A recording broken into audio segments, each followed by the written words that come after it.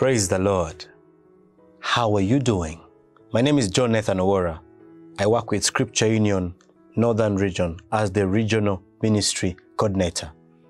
I also work with the Diocese of Lango as the Children and Youth Coordinator.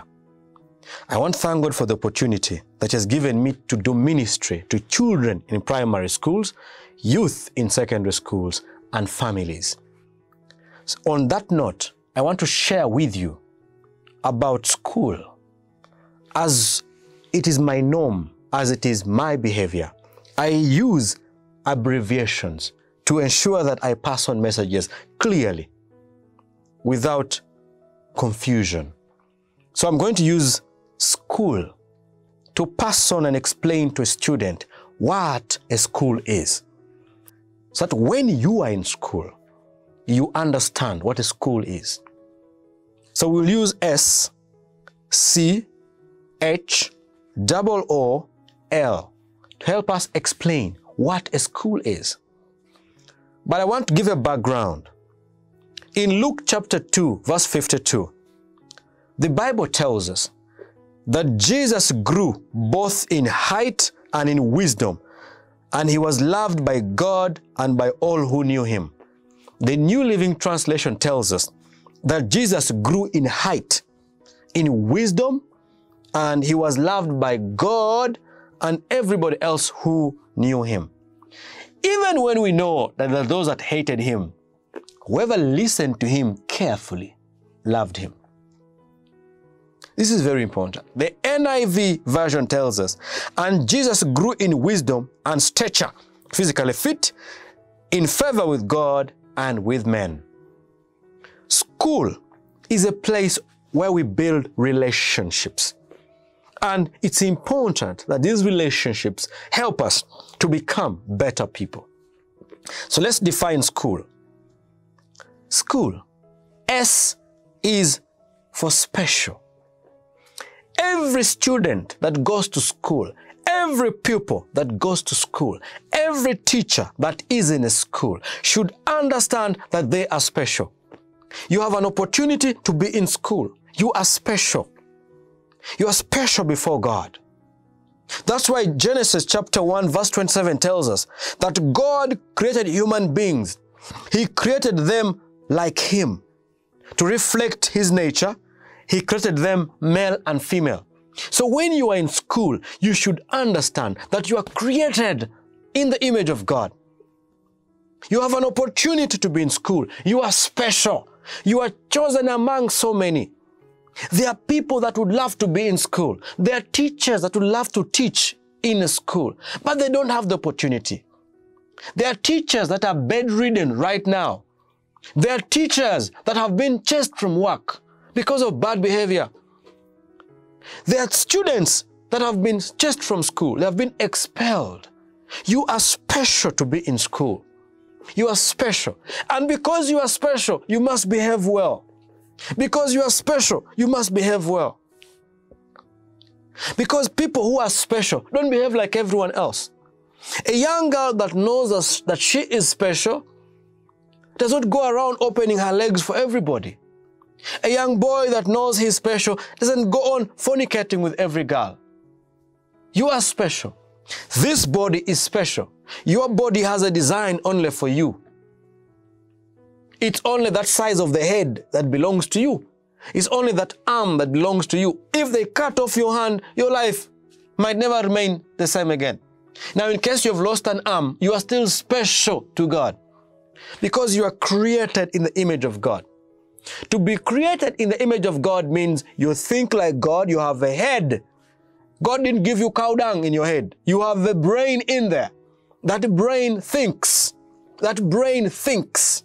It's very important that you know that you have a brain. And because you have a brain, you should be able to make right decisions. That is what God is about when He created you. Praise the Lord. It's important that you know that you are special. See, a school is a place of character development. Because you are special, you must learn to behave like Jesus Christ. Character is behavior. When you are beha- when, when you're behaving in a wrong way, it becomes difficult for us to understand whether you are special. Time for strike, you're part of the team. Time for, you know, people even strike because they're not eating meat. Is it meat that makes you special? I mean, I know meat is, meat is good, but is it meat that makes you special? No, it's not meat. It is God that has made you special. So with or without meat, you are still special. Therefore, behave well. Behave well. That's why Joshua chapter 24 verse 15 says this, And if it seems evil to you to serve the Lord, choose for yourselves this day whom you will serve. So school is a place of choice. Joshua is saying, choose. After talking about character, because you're special, talking about school is a place of choice. You must choose to go to school. Why must we force you to go to school? Why? Is it for our good? It is for your good. We cannot force you to go to school. Joshua was saying, choose for yourselves this day whom you will serve. Whether the gods which your fathers served that were on the other side of the river, or the gods of the Amorites in whose land you dwell. But as for me and my house, we will serve the Lord. Joshua made a decision. He chose to serve God. You, have you chosen to go to school? You know, we have two categories of people. We have those who go to school and we have those who pass through school. Those that pass through school come out with no change. They only come out with, they've grown in height only and wait. But they've not grown in wisdom like Jesus. They even come out when they have not behaved well. Which one are you? Choose to go to school. You go to school, you come out with good grades. You go to school, you come out with wisdom. You go to school, you come out with knowledge. You go to school, you come out a victor. You go to school, you come out and everybody is looking and saying, yeah, yes, that person went to school. That one went to school. That one went to school. How many of your OBs and OGs do you know who are in school? How many of your OGs and OBs do you know who are passing through school?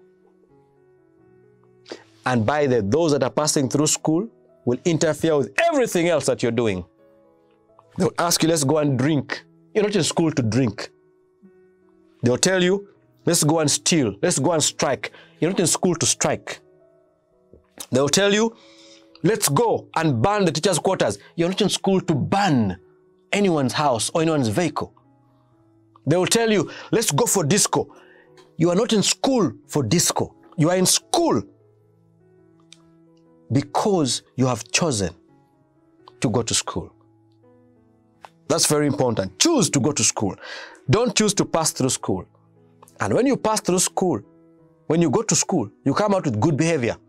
That's why we have rules and regulations in school. We must obey them. That's why there's discipline. Because school is a place of character development. School is a place for good behavior change.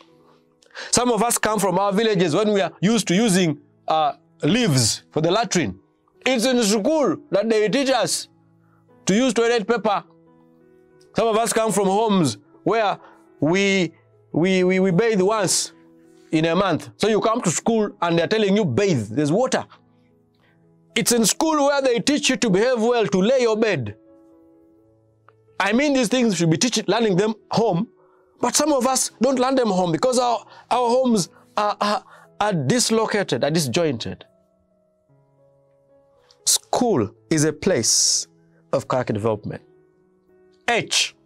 School is a place of hard work. Hard work is of God.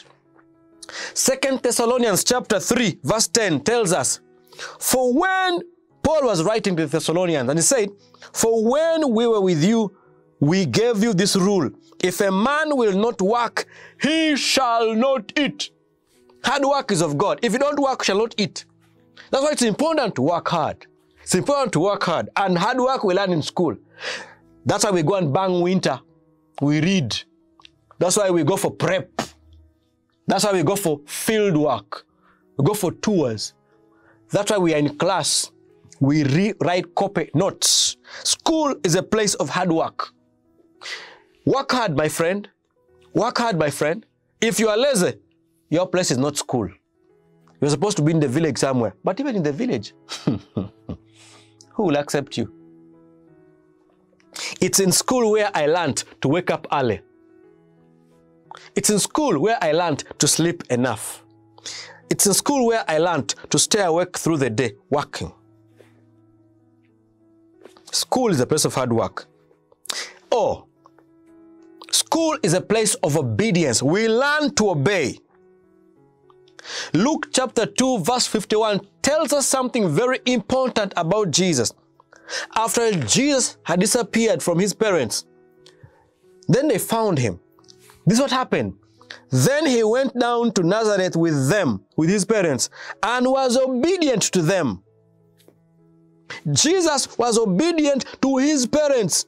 Even after they found him, after he had stayed away from them, he was obedient to his parents. That's why we have rules and regulations. We need to obey our parents. Our parents in school are teachers. School is a place of obedience. Obey your teachers. Obey them. And I'm not saying you obey your teachers when they tell you to have sex with them. No. I'm not saying obey your teachers when they say, uh, go and steal. No. We know what good character is, what good behavior is. So obey your teachers. You know, you because you have beards, you have beards there, you think that now you are big enough, more bigger than your teachers. No, you are not. Just because you have a better shoe, more than your teacher, you think you're better. No, you're not. Just because you have more, a better trouser. Let me tell you, a teacher is a teacher. Even if they don't have a good shirt. That's why you are in school, to be taught. In other words, you are foolish. That's why you go to school. The only person that can help chase foolishness is the teacher. And that's why you, you do, that's why you sit in class. You don't know chemistry, and therefore you must be taught chemistry. So you are foolish of chemistry. You are ignorant of chemistry. So the teacher teaches you chemistry. You must obey that teacher. That's why you must be in class by 8 or by whatever time the school tells you. Obedience is very key. At some point, even the teachers themselves who are teaching you were foolish. They didn't know. So they went to school and they were taught. Now they're experts. Now they're teaching you. So please obey your teachers. Obey them. And obey your parents as well when you go home. Obedience is good. Obedience is of God. It is because of disobedience and pride that the devil was chased from heaven. You don't want to be disobedient to God, do you? So obey your teachers and parents. Another O, obedience, sorry, in school, we learn to be organized. We learn to lay our beds. We learn to put our suitcases properly. We learn to bathe. We learn to be smart. That's why we tuck in. Tucking in is one way of helping you get organized. That's why we ask you to wash your socks. Girls, wash your knickers. How can you be a girl? You are disorganized. You are knicker. Eh, some part of this part here is it, was, it used to be white. Now it's just brown. And you're also there. In, in, you know, how can you be a boy and the armpits of your shirt is brown? You need to be organized. What kind of doctor will you make? What kind of lawyer will you make? We learn this in school to be organized. Lay your bed. It's important.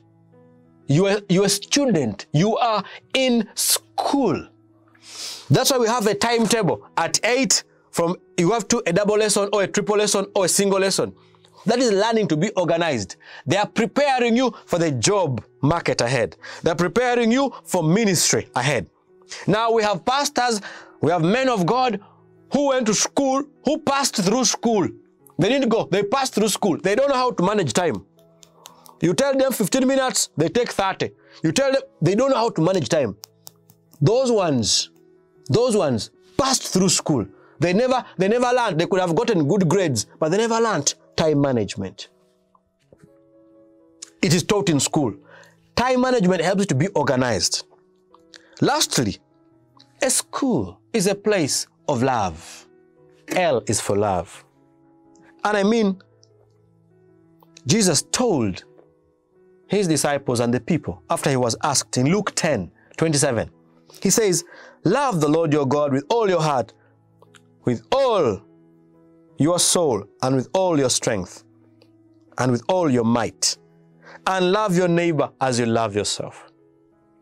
If you don't love yourself, you'll never love others. Love your neighbor as you love yourself. It's first loving myself. If you love yourself, my dear sister, don't open those legs. Close them. And I'm speaking to you who's watching this. Close those legs. You can't say you love yourself and your zip is always down, you young man. What's wrong with you? You can't say you love yourself. Remember, you only have one body to live. One body like this, one life. Should anything happen to you, in fact, I want to be more honest and strict and say this to you. You cannot have a spare part in a shop. Let's give an example. If you have a problem with your penis, and for me in scripture we call a penis a penis. In case you have a problem with your penis, you can't go to the shop and say, shopkeeper, this penis has a problem, give me a spare part. It's not there. You're given once. When you are there, you're drinking, and they beat your eye and they remove the eye. You can't replace the eye. You cannot replace it. They break your arm, they cut it. You can't replace. That's why you need to be careful. You need to love yourself. Love yourself so much that, that nothing wrong can happen to you. Don't be the one who makes a decision to destroy your own self. Love yourself. Then you can love others. You can't say you love yourself when you're sleeping on a bed sheet for three months, you've never washed it. You can't say you love yourself when you have not brushed your teeth. Your teeth is smelling. You can't say you love yourself when your socks are smelling. It's dangerous. So love, love. In school, we learn to love. We learn to love God. In school, we learn to love people. In school, we learn to love our parents. In school, we learn to love what God has given us. Galatians chapter 5 verse 14 tells us this. It says, the entire law is summed up in a single command. Love your neighbor as yourself. So school is a place where we know that we are special to be in school. School is a place where we choose to be there, not pass through it. We choose to be there. We choose to behave well, good character. School is a place where we learn obedience. School is a place of organization. School is a place of love. If you're a student, take this lesson serious. Be in school. Be in school. Stay in school and come out as God's child who has gone to school, not who has passed through school. God bless you.